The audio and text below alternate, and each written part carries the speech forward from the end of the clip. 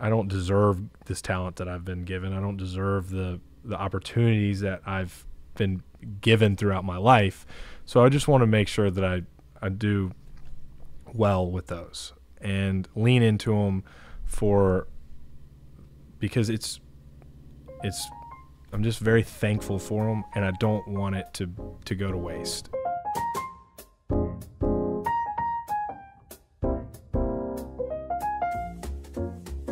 Keith, thanks so much for joining us here on the Golfers Journal podcast. We are here in your beautiful home, St. Simons Island, Georgia. It is beautiful, and we just played a little chess here. Um, uh, you were you were kind to me. You have a lot more of my pieces than I have of yours, but there were a couple moves in there that felt like real chess moves on on my part. You did have me in check at one point. I, I did have you in check at one point, which was suicide, but but we got it done. It's a beautiful chess set. It's a beautiful a beautiful home, carefully curated art. I love. I mentioned I love how you have your bookshelf. The books are turned the other way. There's a lot of style here, and as Cashmere Keith, you're someone that's known to have a lot of style. Um, so if they say that clothes make the man, what is style and clothes? What what kind of man are you making through the way you you know portray your the way you dress on the golf course or your setup here at home? Wow, what a a deep first question. Close. I know. I started pretty. Yeah. well, close make. The, yeah, that's. uh It's a good expression, and it's something I think of as I was reading about how you are really thoughtful about the way the way you dress. I I would like to think I'm thoughtful about most most things in general. I'm getting that vibe here. Um, it's oftentimes too much. Okay. Um, I would one of my uh, one of my closest buddies always says about my focus. I go, I oftentimes focus really, really intently on a lot of completely random things, which is uh, fun and when it's off season, but like when it's golf, it can be Yeah. uh, extremely negative. But I think it's also how I can channel a lot of my uh, energy, I guess you could say. Um, I'm always always thinking, creating, designing, whatever it may be. Like I'm in constant, um, just thought in such a general phrase, but in constant thought about whatever's going on. Okay. And sometimes that's too much on the golf course, right? Where Yeah. you think about too many variables that have nothing to do with actually shooting a lower score. And then sometimes I can come up with a creative way or creative shot that I might have not thought of normally, which actually saves me a couple shots. Yeah. So harnessing it into beneficial, efficient ways is is um, definitely a negative. But the positive is is like just like you said, the the style and the clothes, my passion and thought into that Yeah. has turned into something that I never thought it would have. Like Yeah. it's just that's just who I am. It's me. I'm not trying to do anything different. It's just I enjoy it. It's a passion. It's something that um, I've spent a lot of time thinking about, not on purpose, simply because it's one of the many things that um, I put my time and energy into. Yeah. Well, and it's and you do it very well. And you said there were you know details, and that's something. As I was reading Casey Bannon's story, number twenty-five, um, detailing his his day with you at the Players. There's a part in that story that gets into how detail oriented you actually are, like say about your schedule. You know, knowing how far it is from X to Y, um, and sort of keeping that part of your day in control. Um, is that because golf is a game that a lot of times most things are out of your control? Is or is it hard to reconcile those those two mentalities where it's like okay, very organized here, and then when you're on the golf course, it's uh there's a lot of things the putts don't always go in no matter how what what we try. It's it's such a fine line to try to control the things you can and Right. not let the things you can't bother you. Right.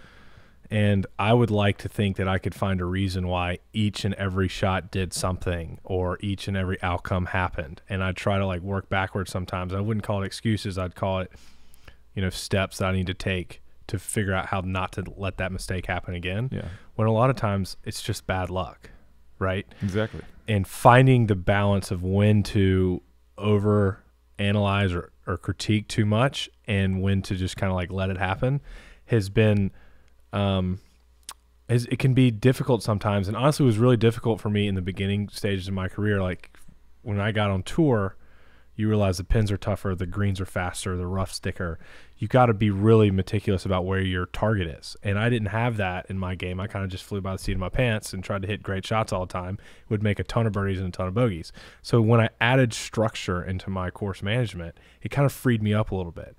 So finding that structure actually gives me freedom, Yeah. which seems very Yeah. very different than most because I am so energetic in my mind of thinking and, and analyzing that structure actually calms me down in a way than just saying, oh, I'm not going to worry about it because like I can't not worry. Yeah. I, I, I'm when I have an off week, I'm always if I just like try to do nothing, I go crazy. So I actually find peace in working on something, accomplishing something, thinking about something, creating something. When that's on the golf course, Yeah. it can go the wrong way. Like, oh, I'm in the trees. I got it in the pine straw, and I got to hit it f- if 200 over the water to the right pin. I'm trying to cut a four iron over there. Like, I'm trying to come up with that where it's like we have structure in your course management. You hit it here, you hit it there, and the math says these are the numbers that's going to make help you make the lowest score. Yeah. I found a lot of consistency in myself and in my game in that. Um, and so trying to implement that across the board is something that I've been trying to work on, whether it's preparation, practicing, you know, how much to work out, how much to practice, what to practice on. When you when I can actually have those structures, I I come to peace a lot more, a lot quickly, a lot more quickly. Yeah. You felt you probably feel prepared. You've done your work. And so take us through that when you say course management and creating structure for that. How does that work at a place, you know, like Sawgrass or Augusta? You know, how do you uh, implement, you know, good course management? after I guess it was about three or four years, I think it was four full years on tour. There was a glaring difference in my performance on very tough golf courses. I would say outside of majors because majors I was still kind of young, wasn't getting into a lot of them, but like just across the general PGA Tour schedule, I had a, a glaring difference in performance playing very very well at tough golf courses and behind the eight ball on short courses. And the reason, uh, not short courses, excuse me, um, easier courses that people shot lower scores on. Mhm. And the reason was hard courses force your hand to make good decisions because par is a good score. Like the Honda Classic, I won at nine under par. Yeah. A lot of these golf courses, people are shooting nine under in one round, right? So when I was at when I won the Honda or Bay Hill or Quail Hollow, a lot of these tracks, even Riviera this past year, like I just feel like hitting in the middle of the greens okay Mhm. and two putting's beating the field a lot of the times. And when I was playing courses that were easier, I was aiming at flags a lot more, trying to make birdies. And in making trying to make birdies, I made a lot more bogeys. So that once I've kind of figured that out with some help of a lot of people that I've I've been able to implement, and I've started making a lot more cuts. I just started Yeah. making I think uh, I don't know what the numbers are, but it was something like I was missing like 40 or 50% of my cuts to missing 10. And that's just a huge, massive difference. It just Sure. raises your floor. Like my ceilings, I would say, still the same until I can, you know, really get patient and start making some putts and, um, you know, competing on the weekends. But my floor has rised tremendously. So what are your let's talk about your goals, right? So we're here in the off season, you're going out to practice this afternoon. Um what are you know, you're known your driving has always been uh, a strength, uh, one of the best drivers on the tour, accuracy and distance. Well, first tell us how do we do that? How do we hit it really far and straight? What's the what's your secret sauce? well, it's honestly it's finding. I was very fortunate to find what worked for me. Where I'm not technically optimal according to TrackMan, Okay. and finding optimal on TrackMan is not optimal for me. Okay. I've learned that my distance and my dispersion are a lot greater when it comes to when I'm optimal. So like I hit, I'll never forget when I started hitting a fade full time with my driver. I might have said this before, but it was on the, let's see, it's 16, 18. I think it was on 14, 14 or yeah, I think it was on 14 at Idle Hour Country Club in Macon, Georgia. I was with my short game coach at the time and told me I needed to hit fades with my driver, and I was like, "That's I'm not going to do that. Like I'm going to lose distance." And he goes, "No, you won't." And so he gave me three balls, hit three and three, and hit three fades all in the fairway, miss hit a couple, and then hit my normal shot, and I missed the fairway twice, and then my good drive versus my good drive with my fade were the exact same distance. I was like, okay, Mhm. hitting a fade. There we go. And then I found in my equipment over time why it works. I've used the exact same shaft since the fall of 2018. I've I've used I used a different model. I guess I wouldn't call it model, a different shaft of the same spec for about six or eight months, but I've used the same actual shaft for the majority of what's that? Almost six years now. Really? Yeah, I guess five years, whatever that math is. Yeah, it's in that range. you're, you're on. but I've used the same. So it's you know it's it's got dings in it, dents in it, whatever. But that the way that shaft loads in my golf swing is I've tried a bunch of them because they don't make that shaft anymore. I can't even find one that I like equally. That's the same same model. Yeah. And then I've learned that where the weight needs to be in the head. I didn't know how big of a thing that was because I only work it left to right. And if you put too much weight in the back of the head, I can't I can't let the ball fall right efficiently because when that weight's in the back, it's kicking it up, it's making the ball go higher, Yeah. more spin, and and drawing. When I want the weight in the front, so it has less spin, higher ball speed, and makes it fall right. Mm-hmm. I actually had some conversation with Mizuno about this for a while. They would have to engineer my driver head specifically different in Japan to match that up because I had such a stark difference. When they came out with the new driver this past year, it they it was designed with the weight already towards the front, but they engineered it just like my old drivers with the all the reinforced weight in the front. Yeah. I immediately hit it 50 yards right. First three swings, 50 yards right. And I was like, the weight's too far forward. It's like, well, we built it just like your last driver. I said, I understand you built it like my last driver, but the weight in the stock weight in this driver and the stock weight versus old driver are different. So the stock driver now is where my weight's supposed to be. And that's why I had the best performance. Because if you change the MOI after it's been designed into a different place, it's never as optimal, right? Because a driver's made to do this, Right. and then you move weight front or ma- weight back, it changes the characteristics of how it was originally designed. So this latest driver, the Mizuno driver, was characteristic to my weight that I prefer in my swing stock, which made which is why I've had the best driving I think the best year driving I've had over my last I guess is I've just finished my sixth year on tour Yeah. and I didn't have to do anything to it. I just put it into my old shaft, boom, gone. There you go. And it's I don't know the handicap or the skill level of a player that that actually starts really making a big enough difference. But for me, it made the biggest difference. I would love to be in that position where, um, I mean, obviously golf, yeah, driver heads and, and getting your weight and your shaft right, um, getting those combinations to work are, are really essential for, for anybody. But to be able to talk like you're talking about, like just movement of a little bit of weight making that much difference, to be that dialed in is pretty is is pretty awesome. Um, is there a swing thought though? And so if you're you're you're gear you're dialed in on your gear, uh, what are you thinking when you're on the tee and you've got that driver in your hands um, to to hit that long, beautiful fade? I usually I usually look where and set my body where I want the ball to start and then I train my eyes to focus on where I want it to finish. Okay.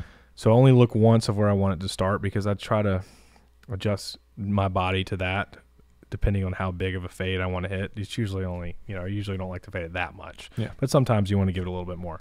So I just set my body where I want it to start and then I immediately look at where I want to finish and don't take my eyes off that. So then I can react to okay, my body's a little open and that's where I want to finish. How do I get it there? And so then I'm just reacting to my target as much as possible.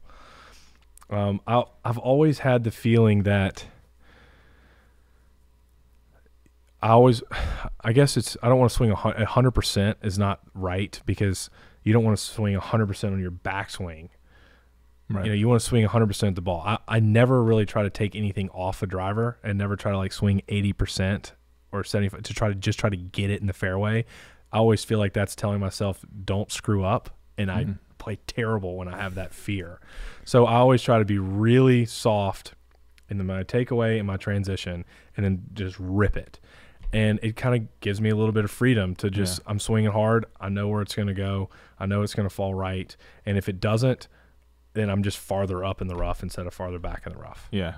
No, I love how you're talking about letting your body react, you know, um, getting it in the right position and then letting your, you know, being athletic. Right. Right. You know, uh, rather than thinking about, okay, am I getting to this position? Where's my right elbow? That kind of stuff. Um, uh, setting up and reacting.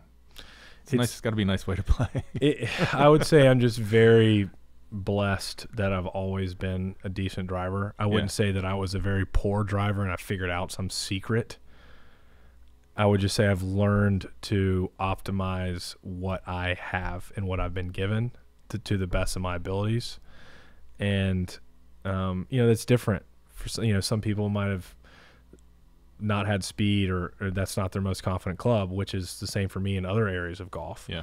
and you know trying to figure out how to make those better is one thing but i've always been fortunate that i've been a decent driver of the ball and i've just tried to perfect it tried to just make it as efficient optimal as possible and a lot of those things aren't the norm if that Mhm. makes sense because i agree that if you put a trackman down and you make the ball launch x y and z at this speed it's going to go farther if I tried to, I, I've done that. I've tried to do that, and my numbers drop dramatically because of repetition. Because golf is all about repeatability and nothing else.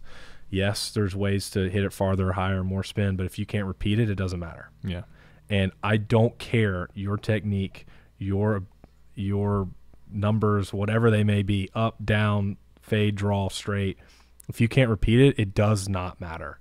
And I've just been able to repeat this little bit of a fade with a with my driver if I get the weight and everything right in the shaft and the head that I don't have to worry about as much because I know that my repetibility is repeatability is just so much more consistent.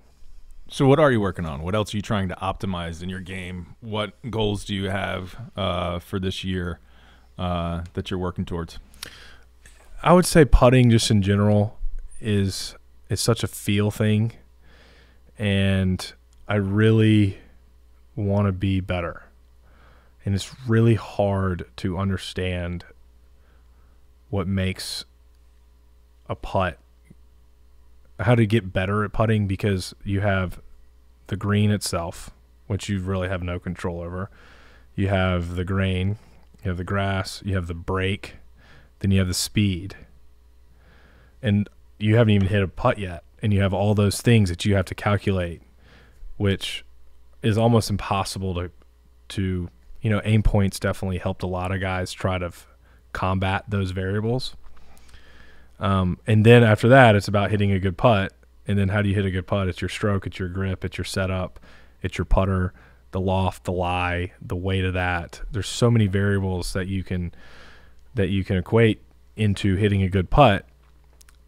Oftentimes we write all those down, go through all of them, go through the checklist, do everything, and the putt doesn't go in. And then the one time that you have an old putter that might be completely not even specked out to you at all. You barely read the putt. You walk in, you just slap it one handed, and it goes in the hole. Yeah. It's it just it's it blows my mind.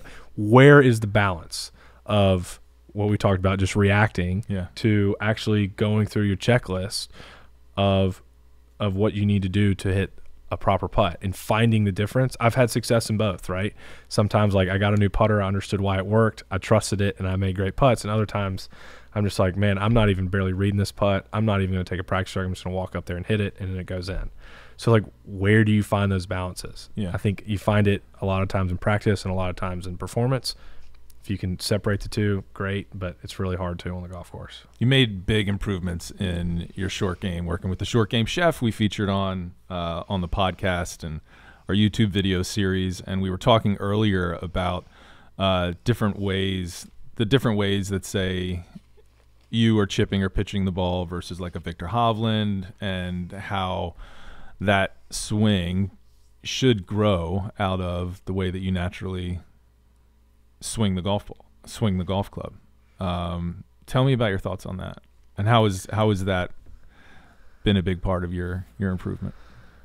It's there's a lot of chatter out there about what's the right way to do something. Right. And again, I I think it always goes back to what's repeatable for that individual, not necessarily what your coach thinks is most repeatable and why. I'm saying what's repeatable to that individual and their feels. Yeah. Because I would imagine most guys on the PGA Tour got to their to where they are because of their natural feels and abilities of hand-eye coordination, hitting a ball, and learning how to do it. Right? It's really hard to, you know, take somebody and just teach them every single. This is how you grip it. This is how you take it back. Whatever. A lot of guys just pick up a club and they just it's natural. It's Yeah. it's rhythmic. I would say Viktor has one of the most natural. When I say that, it's like I don't want to say unconventional. It's just like that's his move, right? And it's his repeated move. He repeats it so well in his golf swing. It's unbelievable how great of a ball striker he is. He aims he aims right, which is against wisdom. You know, he has a lot of side bend. He has a lot of a lot of things that a lot of coaches would say aren't traditional. But it doesn't matter because he repeats it so well. Well, he's found now a way to chip with the same repeatability and the same feels that he has in his golf swing. I had the same kind of realization with Parker because I have very little hinge in my backswing. It's really wide. I never really set the club and I kept I kept trying to have a bunch of shaft lean and kind of hinge it and get into the um, kind of hit down on the ball and compress it into the turf. And I was wasn't consistent at it. And he's like, "Look, you don't have any hinge in your backswing on your golf swing. Let's do the same. And then instead of feeling like you need to trap it, I want you to feel like the bounce hits behind the ball, which is like not necessarily a throw, it's a body turn. I want you to keep your hands in the same position and turn. And if you look at my golf swing, I have a very little hinge and a lot of rotation mm-hmm. through it. And so now I'm like, wait, I'm doing the same thing as my golf swing and that's how I'm supposed to chip too. And it just like clicked immediately. And now I learned how to how to my short game just became so much better because now my the feels that I kind of I don't know what the right word is, but the feels that I had success with in my golf swing and the feels that were comfortable to me when I was hitting really, really good golf shots were now the same feels I'm working on on my short game, producing good shots. I think Brian Harman's another great example. Brian and I chip a lot, and we've he's very cerebral and goes back and forth. He has a massive amount of hinge in his backswing, right? But he also unhinges it very well. If you told me to do what Brian did, and I all of a sudden I had to hinge like crazy and then dump it, I would probably those are against all the feels that I know. Yeah. It'd be something completely foreign to me. And when you're at our level and you're under pressure and you're trying to do something foreign, it's you have doubt. And I think a lot of teachers have had a lot of success with certain individuals because their feels match what that teacher's teaching. And a lot of teachers and students don't have success because the feels don't match what they're teaching. And sometimes it's just trial and error. And it's really scary as a professional to like go work with somebody. And then if those feels don't match what your feels, even though the teacher's right, like it's optimal or it might, you might understand it. But if it doesn't match your feels, it doesn't matter. Yeah. And so I, I got to give you know Viktor a lot of credit for finding a chipping motion that matches what he likes. Me the same way, Harman the same way, a lot of guys the same way. Yeah. And some guys are searching at like whenever you see a guy struggling with part of his game, it's because his feels don't match with what's happening. And if you those don't those don't match, you're lost. But it gives me hearing you talk about that gives me hope. Struggling with my pitching right now, str- you know, trying it this way, that way, and the other way. And there's just you know maybe the idea of like what's repeatable, what feels natural to me, what feels like my golf swing. Maybe that's what I should be working on versus what I've been seeing necessarily.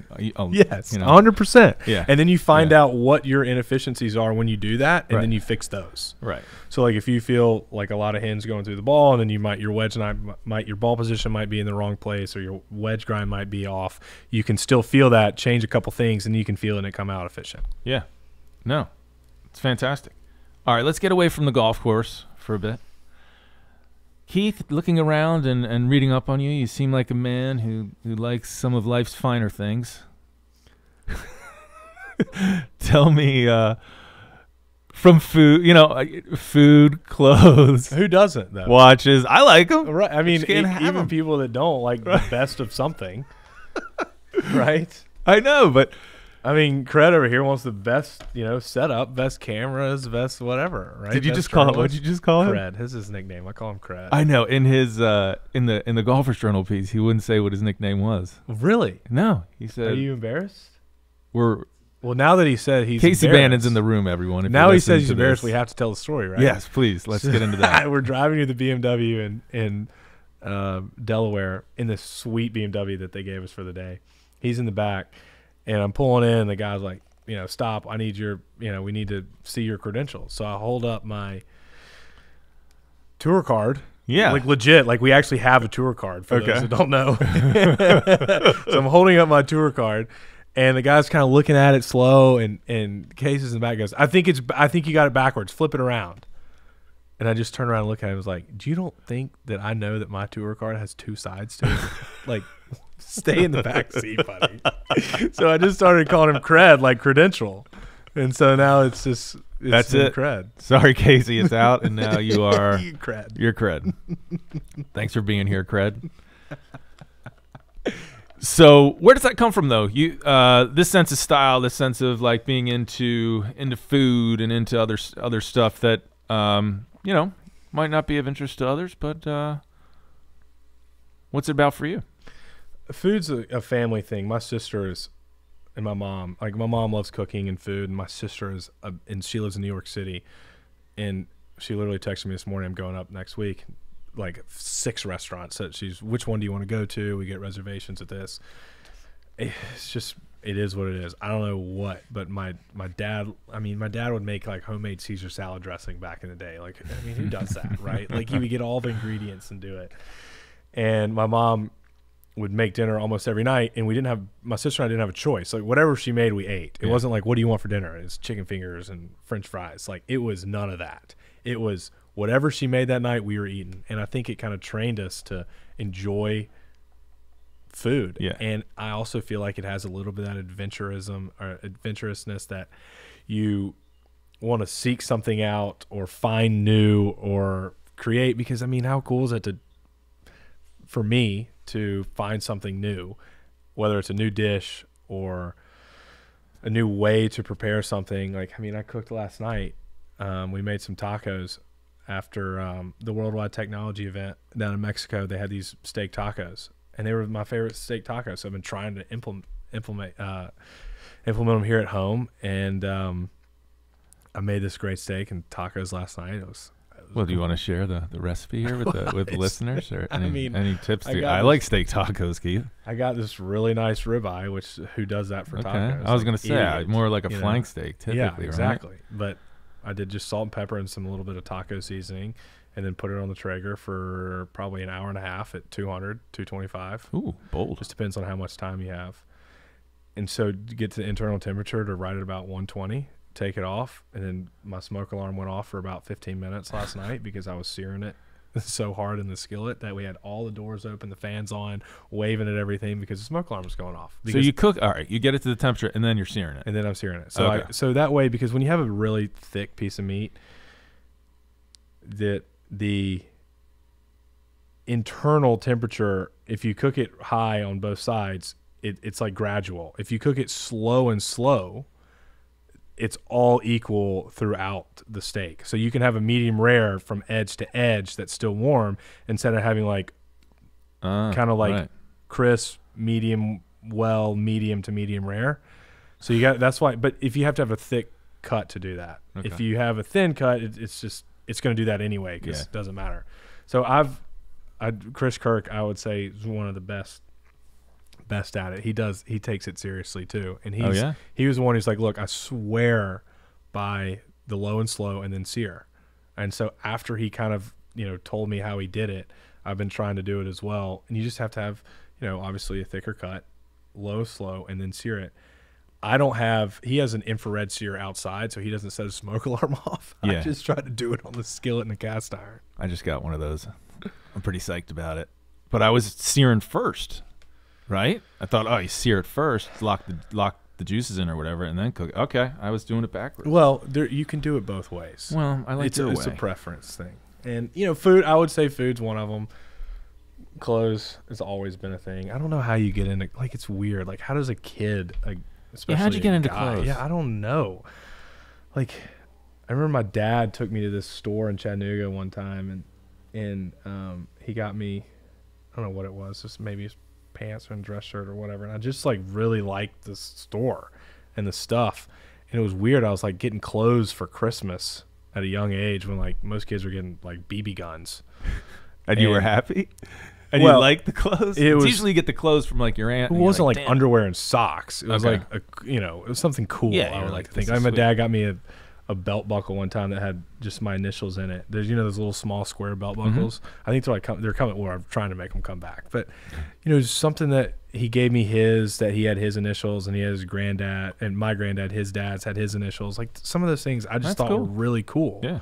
And then when my granddad passed away, when I was in eighth grade, my dad engraved his watch because he had it engraved, and he engraved it again for me. And like it was more the sentimental value that uh, what it represented more than anything, and that's kind of what started me into into watches. Like Okay. I, I had my granddad's watch. Yeah. That, that was so cool. It, ma- it reminded me of him every time I looked at it. And it had a purpose too. Like, you know, everybody wears a watch to see what time it is, but it had more than just that. Right. It was my granddad's. And I think that got me into that. Again, I don't really know. It's just something I've always been been into. Well, it's cool. I think that, you know, it's always interesting to meet people in golf that aren't just can can only talk about golf or where that's their only interest or uh and it's and it's probably very healthy to have all these other things towards which you can, you know, devote mental energy to uh rather than everything. Or do you feel like your life is all about golf? if it wasn't for golf, I wouldn't be able to experience what I've experienced in all these other avenues Right. like I have been able to. So golf is definitely the root of all of this. And it is also what I did for fun my whole life. Yeah. And then all of a sudden it became a job. And I'll never forget the difference in when golf was fun it was because it was after school. You know, you had to go to school all day, then you got to practice, and you got to go to tournaments in the summer, and then even in college, you had to go to class, and then you got to play golf. Now it's like, I go play golf, and that's my what I what school was is what golf is, in terms of Yeah. the productivity. Like, so it's my job now. So I really had to find that outlet outside of it to kind of balance, I would say, my life because golf was just my hobby and fun. Now it became my job. Beca- I actually put a lot more time and energy and pressure into it to perform mm-hmm. high. So then I needed a break outside of it. And so now I just kind of channel it through all these random hobbies, and a lot of them coexist in golf now. Like Yeah. I have watches as part of a sponsorship, and you know, clothes as part of a sponsorship. I mean, I haven't found a way to for food yet. Mm, to get a food. Well, you could after people listening to this, you might get a steak deal or a, a grill deal. It sounds like. Is golf still fun? Absolutely, All right. always will be. And I found a fun way to do it. Like I found some old clubs. I, I did it a couple weeks ago. Got my 975D out and Titleist PT three wood. And, There you go. Now you know, and I went and played, and I one. didn't care where the ball went, right? Because I could blame it on the clubs. If I take my actual tournament clubs out and hit a bad shot, I'm already critiquing myself. What did I do wrong there? What do I need to do right? Right. And so when I take that fun set out, it just I enjoy golf for what it is again, and not necessarily like trying to hit every shot like I want to. There you go. Another fun thing you're interested in life. I guess people are. If you're watching this on YouTube, you'll see we're drinking out of these styrofoam cups with a uh, with a Jeep golf cart called El Jefe. Um, you, what you're restoring a Jeep? What's going on here?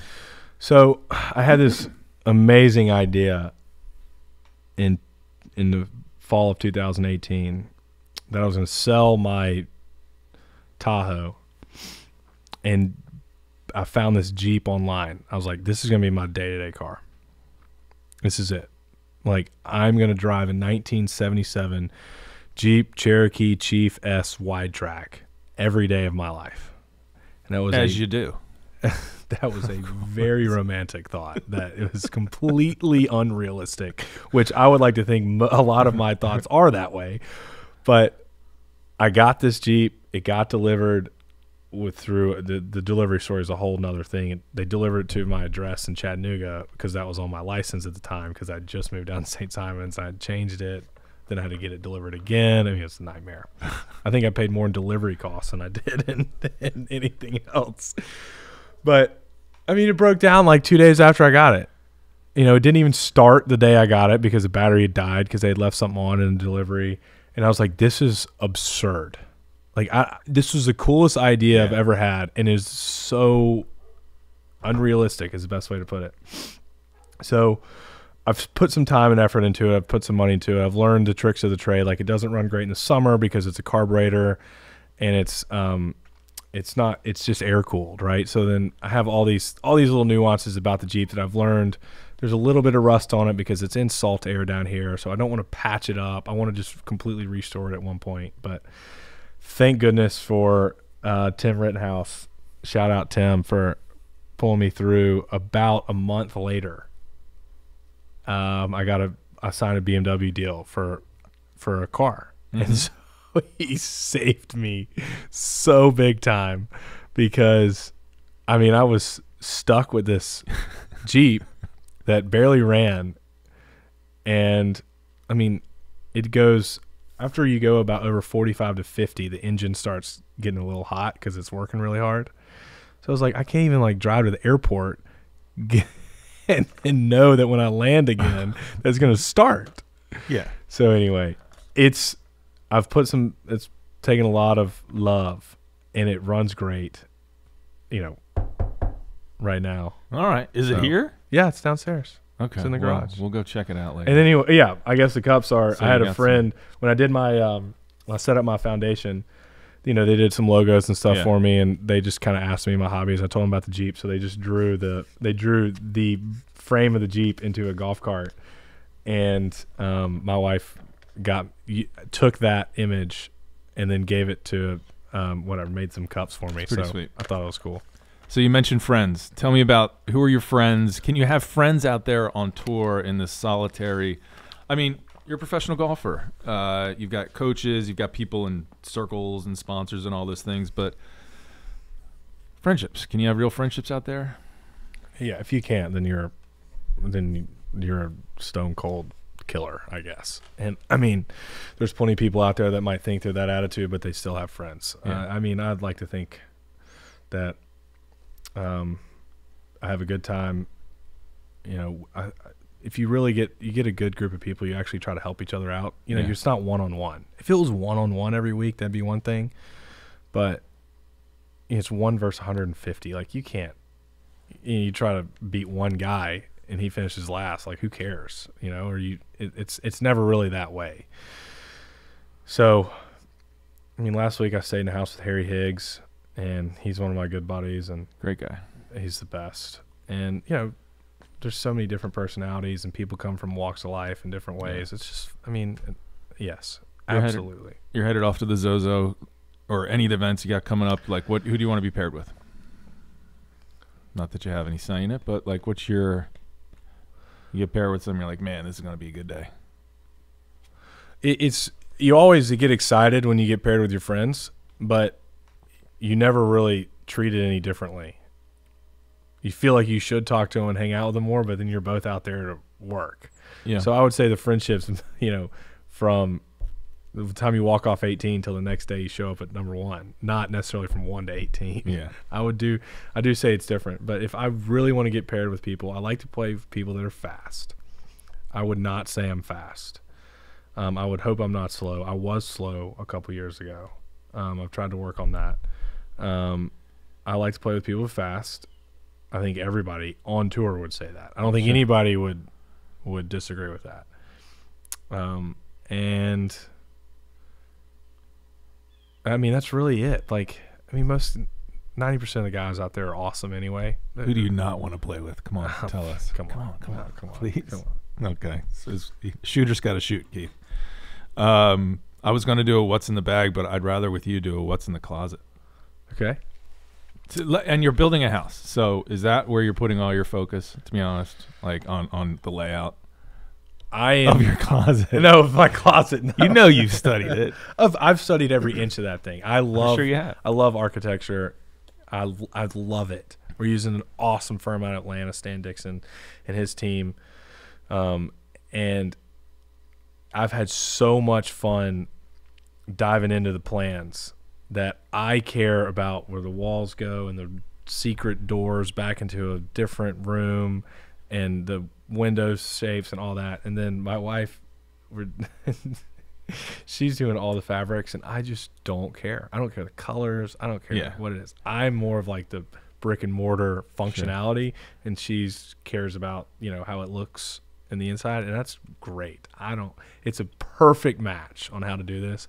I'm having so much fun doing it. I got my own little room. It's got a secret door to another secret door from my closet back Whoa. into the other way. I mean, it's yeah, plans are right there, but I mean, you're gonna have to see it in Secret person. doors, Multiple. multiple secret doors. Yes. You're live. You are living large. Um, I mean, it's the door. You can just cover it up. This that doesn't cost any different. yeah, yeah. It's true. What's the layout of the closet going to be then? I want to hear about this. Are there going to be closets off of closets, secret closets? No, no secret closet. Just a Secret watch door area? in the closet into the into the my I don't know office slash Okay. other kind of room. But I would say that. I mean, we we had to make room for my suitcases. I mean, we travel so much that I wanted my I wanted my big suitcase to be able to fit in my closet. Okay. So I never had to drag it in and out and pack somewhere different. I could just Right. put it all right there. When I'm home, just take it all out. I feel that. Yeah, because that- the suitcase is always in like the guest room Right. closet on a sh- Yeah, exactly. So we made nice. sure that we could both my wife and I have a space in our closets to Okay. put our suitcases so that when we travel it's just right there. And those are like the little things Yeah. that a designer and an architect like can help you find out that you would that even I wouldn't even dream of thinking of. So that's I mean all those little things are fun. Um I we're, we're doing this little wine room that has you know obviously a secret door to get into that, and then I got my favorite bottle of wine that I was like I would call it. Some people call it your epiphany wine. That the wine that got you started into wine. You're gonna pull that bottle. Mine was a box. Was it? Yeah. That's what made you like wine. No, no. You like everything. Long- well, that's for a different podcast. Um, no, tell me about tell me about your epiphany wine.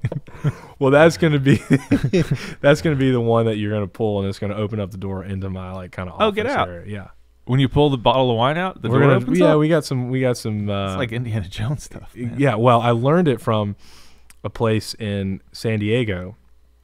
Um, one of this design firm called I, th- I think it's pronounced AvroKO, but I'm not sure. But a sponsor of mine, Josh Boniface, took me to um, took me and my caddy John Limanti to dinner there.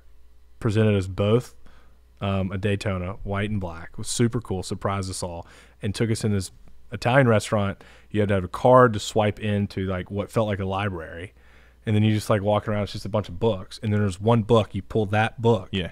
and then it opens up the door, which goes into the the like speakeasy area. Nice. And so I, I'm completely copying this. Like this is cool. not. I mean, I mean, obviously my own take, but it was so cool. I was like, if I ever build a house, I'm doing this. This is amazing. That's pr- And so we're we're trying to figure out a way to do it. that is really cool. Um, do you remember the day that you decided, while we're on the topic of fashion, that you were going to be a visor guy? Oh, I mean, day one. Day I mean, one. There's a picture of me that I put up on my Instagram that I mean I can't be more than four years old, five years old wearing a visor. What? Yeah. Oh yeah. It's out there. And my dad always wore a visor. And so, you know, everybody wants to look looks up to their dad and he was a cool Yeah. guy wearing a visor, so I started wearing a visor. And you know, it's it's just part it's I didn't wear I wore a visor all the way through high school, all the way through college, and then I signed with Nike right out of school and they didn't make a good visor. And so I wore a hat and then when I signed with um, two other companies that were I got a better deal out of it than my current deal. Um, then I went back to the visor, and I've been go. with it ever since. You got. I'm. You, I am admire. You got the good head of hair for it. Not everyone can pull off the visor. I can't. And Why plus, not? I well, I've got a lot of things going on up here. Color, shape. Color, like the color of your hair I don't matters. know. You want to. It's it's it's very bright, and then up here it's a little thin, and so I would be getting the burn. Sunscreen, hello. I'm rubbing sunscreen into my half-covered scalp. Why? I don't know. You rub it in everywhere else. I do. Everywhere else. I, I have some I have some visors. It takes a certain confidence though, Keith. Why don't you have it? I have it in other parts of my life. I just don't know if I have it in in headwear. Um, So we change this podcast over. What are those other parts of your life that you have this confidence in? And I'm asking the questions. yeah, well, okay. Um, I've got confidence. I don't. I'm, wow, I don't have any confidence now that I think about it. I had Then confidence let- going into this interview. Let's start just- with the I visor. all. Step one. All right, visor. Well, it's just visor. It's in that arena of bucket hats. You know, like it's just you know you're saying something, and uh, all right, well, you'll wear a visor. But I do. but That's probably the main reason. With the fair skin and the light hair, like I'll get the burn here, and, Sunscreen. etc. So I'll sunscreen it up. You're right. I am. I am. Uh, I got this the new sunscreen. That's the uh, the clear kind, and just put it. I love it. So, um, Let's let's get you on it. Let's let's give it a shot. can you get me a visor? I can get you. I can definitely get you a visor. Can we go in your closet later and get some visors? okay. Um, you've given us a ton of time. I can't thank you enough. This has been so cool to be down here, and what a, this is like one of this is one of my favorite places in the world to come down to St. Simon's and Sea Island, and uh, if folks haven't been here, and you get to live here all the time. It is.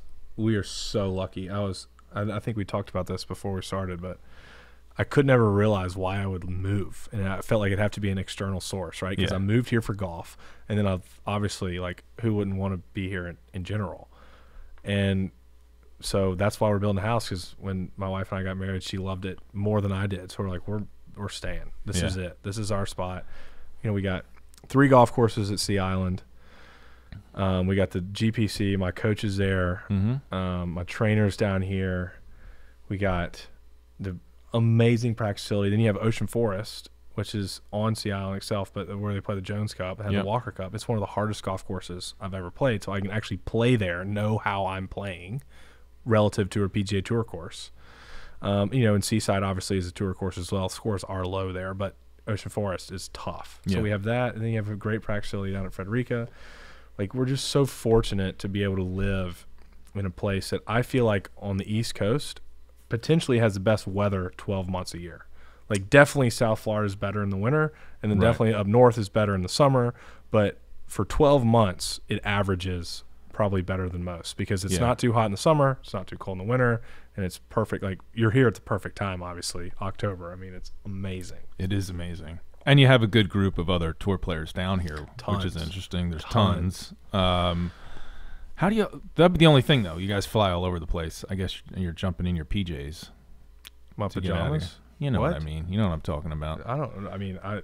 Where do you fly? I don't. I don't wear pajamas. Don't How do you get out? Do you go down to Jacksonville or do you go to the little airport here? Yeah, it's just whatever. Okay, all right. We know the answer to that question. no, that's my only issue with, with you know. There's a little bit of a there's a little bit of a commute. I'm going to Tokyo. You know, flying straight out of here, straight to Tokyo. Right.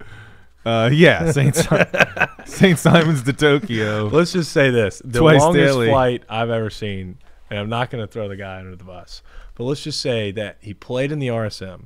Okay. Okay, it was the last term of the year, and his plane went from here to Europe, Okay. and the runway. These things take off right over, Yeah. right right over in town. here. Yeah. Yeah. And I mean, I remember sitting there looking. I was like, it was like a 13 hour flight. Then from here home, it was epic. I was like, this is the longest flight I've ever seen out of this airport. So No, it's nice. You know, you mentioned the RSM. You get a nice, uh, you get a you get a home field um, event every year too, being on uh, St. Simon's, which is uh, which is pretty great. So I'll just leave you with a nice, light, easy question, Keith, before we go raid your closet. Um, we just had a podcast with Sean Foley, and he talked a lot about purpose. When you think about your purpose, tell me about your purpose. oh, I, I told you it'd be just a nice, easy one. oh what gives you a sense of purpose?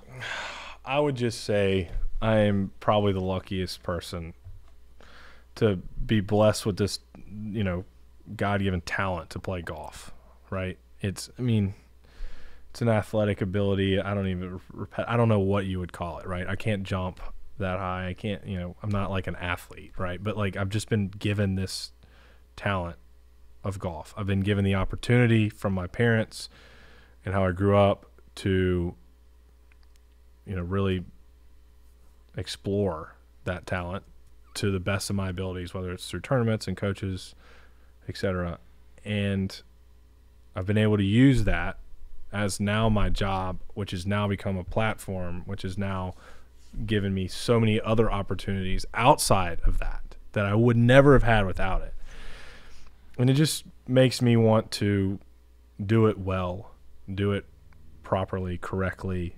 Um, and because I don't want to I don't want to waste any sort of thing that I've been given and or really don't deserve necessarily. Like I don't deserve this talent that I've been given. I don't deserve the the opportunities that I've been given throughout my life.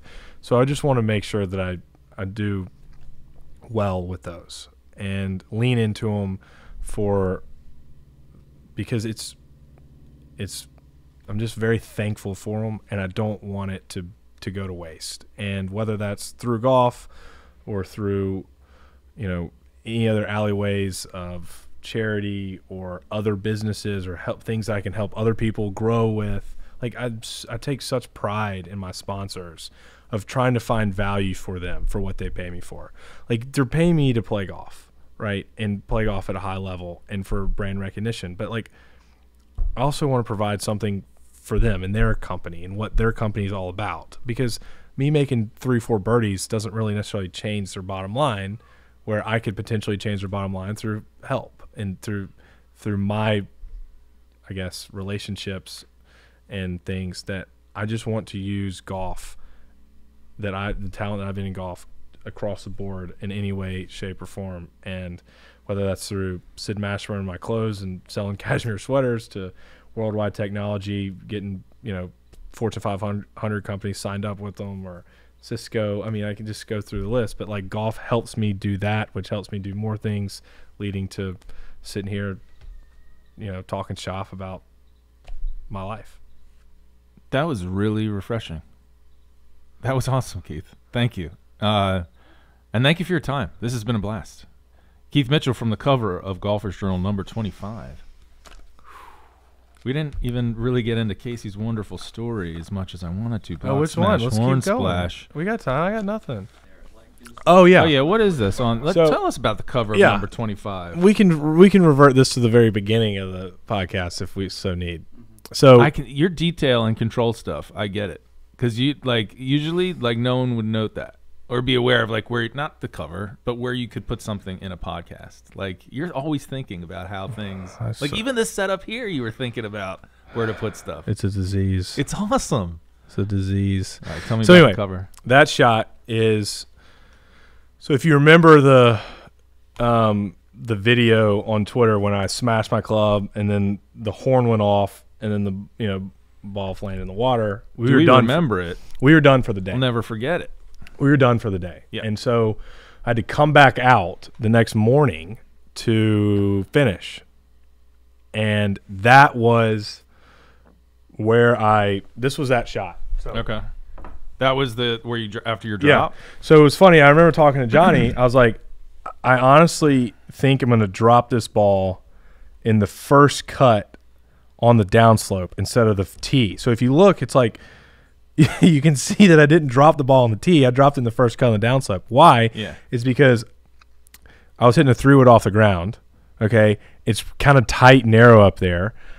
And the first cut was just the right height that it wasn't ever going to sit down. And it was so it was it was just a little bit higher, so it was going to sit up, and I could get it. It was almost like a tee, and then the downslope just kept the ball low, and it kept it running, which I needed.